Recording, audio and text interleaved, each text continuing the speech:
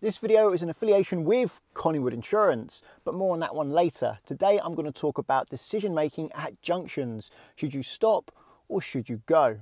Decisions are all about timing. Well, not all about timing, but timing is a very important factor. If you try to make a decision too early, the situation is going to change by the time you get going. And if you try to make a decision too late, then you're not going to have time to stop if you need to. When you're approaching an open junction, you want to finish preparing about three to four seconds before you're there. So at the moment, I'm slowing down and I'm going to go into second gear and I'm doing about 15 miles an hour. Now I've got a few seconds to actually look where I'm going and see who's coming around the roundabout to judge whether or not I can go and also see on this occasion that I can't go anywhere because, well, there's nowhere to go. And now I can see no one's coming round because we're all positioned and angled away from the roundabout. I can set off. So now I'm going to show you that again. I'm going to go right at this roundabout. So mirrors, signal right. I'm coming off the gas now, starting to use a little bit of brake to start gradually slowing it down, going down into second gear, bringing the clutch to the bite point. Now got a few seconds between here and the line to figure out where people are going. Looks like he's coming round so I can gently stop at the line. Now no one's coming, I can get going. Where a lot of people go wrong is they try to make decisions too early. So I'm going left, mirror signal left, and what they'll do is they'll spend all their time focusing on the traffic now, which is really irrelevant because by the time you get there, it's all going to change, and that distracts them from slowing down and changing gear. This is a good time to actually check when you actually need to take action. Now they're too far from the roundabout, it's obvious they're not coming round, I can get going. So to summarise, making decisions too early is bad because the situation is going to change when you get there and your attention is taken away from driving so you lose your position. If there's two lanes, you might drift into somebody else's lane. You may not slow down enough and you may be in the wrong gear. It's rare that new drivers make decisions too late and leave it to the last minute because they're normally anxious about the decision and they're trying to start too early. Ideally, get the car down to around about 10 miles an hour and second gear with the clutch up when you're about three or four seconds away from that give way line. Then use those three or four seconds to look and judge whether or not you can go. New drivers need more time to make that judgment, which is why I recommend three or four seconds before the give way line being ready with your speed low and your gear in second gear. When you're more experienced, you may be able to do it all together at once and give yourself far less time. But if you're inexperienced, take your time.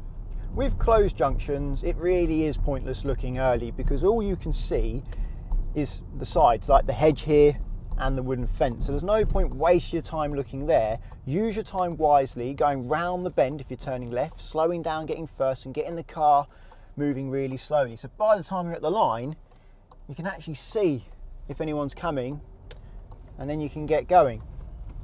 And on really closed junctions like I have here, the same thing applies. I can't see anything to the right, I just got a wooden fence, and to the left, I just have a hedge. But on this occasion, even when I get to the line, I carefully roll up to the line. I still can't see far enough. Someone could come from there and I can't see far enough to know I can make it. So what I do, when I think it's safe, I'll move forwards, like this person on left's coming, so I'm not gonna move forward just yet. I'll let them go first. But when it's clear on the left, I'll move forward very slowly, slowly forwards until I can see. Now I can see that red car. I know I've got to stop. I'm only a couple of inches over the line. And then I'll start moving forwards again, very slowly. And now I can see down the road, I can make that decision to go. Don't worry if you poke your nose out slowly. That's what you have to do when you can't see. Better to poke your nose out slowly and warn people that you're trying to pull out when you can't see them than the shootout suddenly. You may not be able to see them, but they should be able to see the front of your car so they can take action if they need to. There really is no other way around this if you cannot see at a blind junction. If you're waiting to pull out of a T junction and someone is signalling to pull into your T junction, you can pull out in front of them as long as you're sure that they are actually going to turn into the road. You can be sure by looking at their speed. If it looks like they're slowing down, then they're most likely going to turn into the road. However, if they're going fast, they may have just left that indicator on by mistake, so be careful. When you are turning right out of a T junction, such as I am now, I recommend you look left much more than you look right because all the cars on the right are going to block your view of the left as they go past and cyclists and other people walking. Now I can see a gap on the left, then it's worth looking right, marry them up together, and then you can go. I'm not saying you shouldn't look right at all. Glance right regularly, yes, but mainly look left because all the cars passing you from the right are going to be blocking your view to the left. So if you're mainly looking left, you'll be able to build up a picture of what's actually coming, but also you're joining the queue of cars from the left. So you've not only got to pull out in front of them like you do on the right, but you've actually got to get up to speed. And if you're watching them, that's going to help your judgment of their speed and help you judge whether or not you have time to go. Of course, if you drive in a country where you drive on the right hand side of the road, which is 60% of the world, you'll be looking rightmost instead of left, because the opposite is going to be true to achieve the same result. Now I'm going to stand at this roundabout. These cars need to give way to these people coming round. I'm going to try and help you figure out how I know whether or not I can go. So, that silver car looks quite far from the roundabout. That helps me judge that they were going to leave. The van that's trying a trailer or truck should I say, also looks quite far at the time. This silver car I'm not sure of yet, but they're starting to leave, so I can tell they're not going to come round. The white car's not going to come round either, and neither is the red car. You can see how they're leaving the roundabout. Not sure about, no, the white car's definitely not. I thought they might be for a second there. And sometimes you're not sure. If you're not sure, don't go. The van, oh, they look a bit closer. Are they coming round? No. The black van is. You see how much close they are? had the indicator on as well. The white car is because they're all so close, and the van is. You can tell just by their position. Look at their wheels as well. Are their wheels pointing straight? If I go closer now, hopefully you might be able to see the direction of their wheels as well. So I'll stand here now and do it. You see the truck is straightening their wheels so they're not coming round. The next car uh, not this car now, they're, they're leaving, but the car waiting to pull out, I think they're going to come round because they're indicating and they're really close to the right. But the black Prius behind it, that one there isn't. That car did. And the next car pulling out, what do you think? Are they going to leave there, that silver car? Or are they going to go around where you can pretty much tell now they're going to leave? The tractor's going to leave, and so isn't the silver car. Now, this roundabout, you've got to be more careful because both the oncoming lanes go ahead. It's two lanes to two lanes. So just because they're near the roundabout, it doesn't necessarily mean they're coming round. So you end up waiting for this blue car, say, and they don't come round. They leave. So you really are relying on indicators here.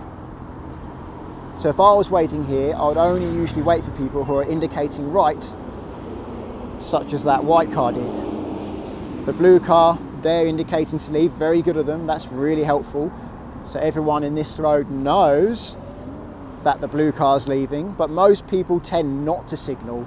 They tend just to go straight, not signal to leave. But if you don't see a signal, it normally means they're going straight. Like this bus, for example, not signalling, but they are going straight. The silver car, not signalling, but it's going straight. The van signalling, and they're going right. So on a roundabout like this, signals are imperative. So to help you judge which way people are going, you can look at their position. Are they close to the roundabout? Are they angled away from the roundabout? You can use their signal. Are they signalling right? Are they signalling left? Or are they not signalling at all, which normally means that they are going straight. But also look at their wheels to get an early clue. If you can see their wheels are tilted in towards the roundabout, they're probably coming round. But if you can see their wheels are starting to straighten, that can be a clue that they're leaving too. Speed can help because people generally speed up as they leave roundabouts, although it's the least reliable source of information. Local knowledge helps loads. Like on that last roundabout I showed you, I know both lanes can go ahead, so I'm expecting people in the lane nearer the roundabout to be also going ahead instead of just coming round. That roundabout normally catches new drivers out because they're waiting for everyone in the right lane, expecting them to come round where I would guess less than one in 10 cars actually go around there. It's probably closer to one in 20 cars actually do a right turn and go around that roundabout. If, you, if you've got local knowledge and you know that, that can help you with your decision too. Sometimes when you approach a junction and you're in a queue of cars and there's a queue of cars on your right, like I have here, you can't actually see right, you can't see in front of them. Normally the left lane will stop further ahead of the right lane, but here, generally people in the right lane go way over the line and for you to see in front of them, you're gonna have to put yourself halfway in the roundabout. So in roundabouts like this, like here, where it's hard to see right, you're better off waiting to see after the car is gone. Now I can see that that white car is coming, so I am going to wait for them. The shield, which is this truck, hasn't started. Now the shield, the truck has started, that's going to block cars off to the right, which means I can continue. I'm going ahead of this roundabout. All the cars on the right aren't indicating, which means they're going straight, so I can continue. And I'm going to go left at the next roundabout. No cars on the right, that's quite easy, and the truck's going around anyway, so they would be the shield. I've got just about enough room to leave here and exit and be out the way with this red light. If there was another car there, I would have waited before the give way line because I don't want to stop halfway across the roundabout. On that roundabout where I said if you have restricted view because there's a queue of cars next to you, you may be able to pull out at the same time as them. It all depends on the situation, how fast you can go and how fast you think they're going to go. But it is a bit of a risk because they may go to go and then suddenly brake hard and then you're going to have to suddenly brake hard too. So I'm going to go on these three mini roundabouts again near Greensted. Green lights are there. I'm ignoring the lights now because they will be green when I get there, or they'll be amber, it doesn't matter, they won't be red. I'm already jogging along in second gear. No cars in the right lane there, so I know I can go. The vans come after I started, so it's fine. The BMW had time to make it before me. I had to get going, but they did. Going into the right lane here to go ahead. Got to give way to the cars on the right no cars on the right. Got space to fit after the roundabout, so I'll go after the roundabout. I'm going to go right at the next mini roundabout, so I'm indicating right. And now I've got cars on the right I need to wait for in the right lane, or looks like I left, but it's their right, like that silver Mercedes. And that silver car there is what I call a shield. They come round, they stop that Fiesta from coming, which means I can go. I didn't take that one just to show you that time, but I will take the next one. So we've got loads of cars coming from the right now. That right lane is filled with cars. I really need a shield to be able to go. Is that BMW shield? They're in the right lane, look. So I will start moving and I'll drive towards and around the back of the BMW and then that truck can then go around the back of me. So the BMW is a shield for me, then I became a shield for the truck. At this roundabout, too easy nothing happening. So I'll just go and stay in the left lane. I'm going to straight line it. There's two lanes approaching the roundabout. There's two lanes on the roundabout. Try and stay in your lane and obviously drift a left lane to leave if there's one lane on the exit. Now I'm approaching that roundabout I spoke about earlier when I said both the oncoming cars go ahead, both lanes can go ahead.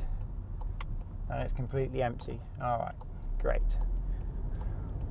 One time I want traffic for the camera and it is empty sometimes the only time you're going to get an opportunity to pull out of a roundabout when there's constant cars coming from the right, like now, is if you get someone come round the roundabout and stop all these cars from coming round, like this red car here, you see? That could potentially be a shield, although they also went round the roundabout, so you probably still have to wait. If they went into this exit road, then that would have been your ticket to pulling out. So constant traffic, really not much of a break at all. Looking for people coming round. They're coming round the roundabout, but they are coming all the way around, so you might not make it. You may make it, depends how quick off the mark you are, because you had a little bit more time there. That probably would be an opportunity for most people, but you're ideally looking at them to go into this exit road here. Not many people are doing that. Oh, you had a break in the traffic, so you could pull out then. Some roundabouts, the odds are stacked against you. Like that would have been an opportunity there because they took quite a long time to come round. And if there was anyone coming out of that entrance, that would have slowed them down. It all depends on how quick you are at getting going. Don't go faster than you can handle. As a new driver, it's important to understand and accept that you will need bigger opportunities than experienced drivers. If you try to take small opportunities like an experienced driver does, you're more likely to make a mistake, which would probably lower your confidence and make you second guess what you do next time. So it's better to only take the gaps in traffic that you feel comfortable with. You're not very quick at getting the car moving when you're starting out. And also, it, it takes you longer to judge whether people are coming round or not because you don't have that experience yet. You will gradually gain that with time. To get a driving license, you don't have to be really good. You just have to be an, an, at an acceptable standard. You can take the easy opportunities. You're not missing easy opportunities and you're not missing shields or some people call shields blockers. They're basically when a car comes round the roundabout, blocking people off from the right, allowing you to go. Very important to look out for that. So don't just stare right at the people coming, also look over the roundabout to see who's coming round, because they are also your opportunity. As you can see from those video clips, not everybody signals correctly. Some people signal right as they're leaving the roundabout, and some people don't signal at all. And if you're on a test and you make a judgment based on someone's signal and position, and they do something else, that doesn't necessarily mean you failed. So let's say you're going ahead at a roundabout and you've got to give way to the right and the car coming round the roundabout isn't indicating right, doesn't look like they're coming around, looks like they're going to leave before they get to you so you can go. But you start moving off and then they come round anyway. That does happen. If it really isn't your fault, you most likely will still pass the driving test. It's up to the examiner to make that judgment call of, yeah, I agreed with the pupil really didn't look like they were coming round. I would have gone as well, but then they came round anyway.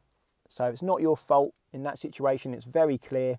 Then you will still likely pass. I've had experience of that when I've been sat in on a test and the examiners had to use the dual control brake because that very things happened, but the examiner noticed them come around at the last minute. My pupil didn't. Yet he still passed that pupil because he realised that yes, he's got 40 years of driving experience and may recognise these things a bit earlier and maybe a bit quick, to, a bit more quick to react.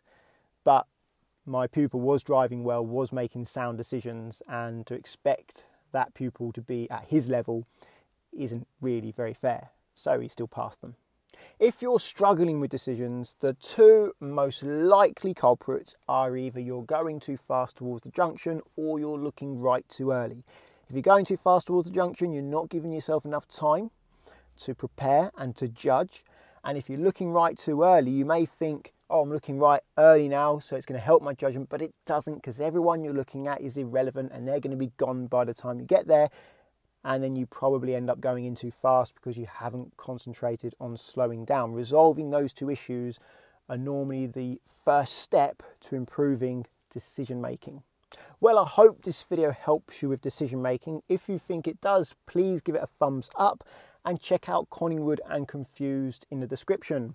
Collingwood are an insurer and if you're looking to insure yourself on somebody else's car, they can really help you because they allow you to do that without affecting the car owner's policy or risking their no claims bonus.